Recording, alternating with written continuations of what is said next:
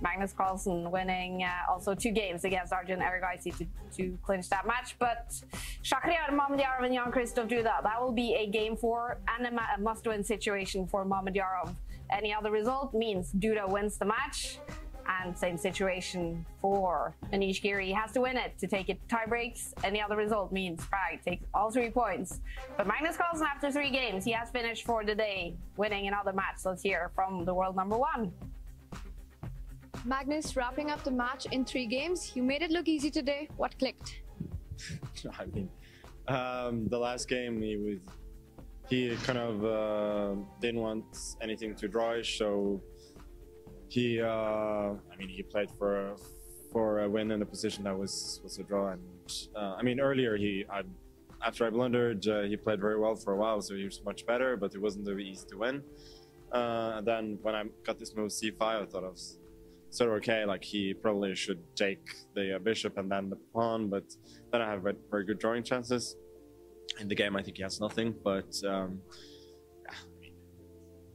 clearly this game was a product of the um, uh, of the score in the match, not much else.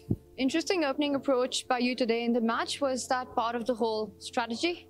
I always seem to get some interesting opening uh, openings, but yeah, I mean the last game like e5 was just that was just a miss. Um, the, the, position was like decent, generally slightly better for him with compensation, but uh, but okay. But yeah, e5 was just uh, uh, I didn't see that my queen would be exiled, so I was I was a bit lucky there. Magnus, so far you've had little trouble against Arjun in your matches. What do you think works uh, about you against his style? I think his openings uh, aren't good enough.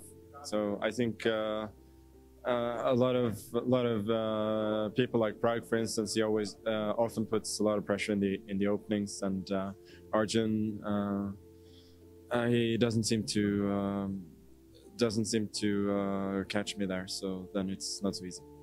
Two match wins, great score, but also pleased with your play. Nope, but. Um, you know, I, I feel like I generally do okay. Like my instincts are good, but I, am just missing stuff. So yeah, uh, I'll uh, try to do better, but obviously, score is good. All right, good luck. Not entirely happy, Magnus Carlsen. What is your verdict uh, on his play today, David? Ah, he's he's so self-critical. he's so harsh on himself, but that's what makes him uh, such a champion. And yeah, he's played well. There were a couple of moments where, as he mentioned there, he could have played a bit better. He mentioned the word getting lucky, um, but great champions make their own luck. He kind of put his pieces on strange squares occasionally, but he made it work, and um, that's what everyone has to do. Um, no matter what position you get, you have to turn things in your favor, coordinate your pieces, and he took his chances when they came. That was the key. And uh, Arjun, it felt like he was always on the back foot. Maybe that's because of the time zone. Playing so early in the morning, he still hasn't quite adapted. He's not at his best, Arjun Erigaisi. Yeah.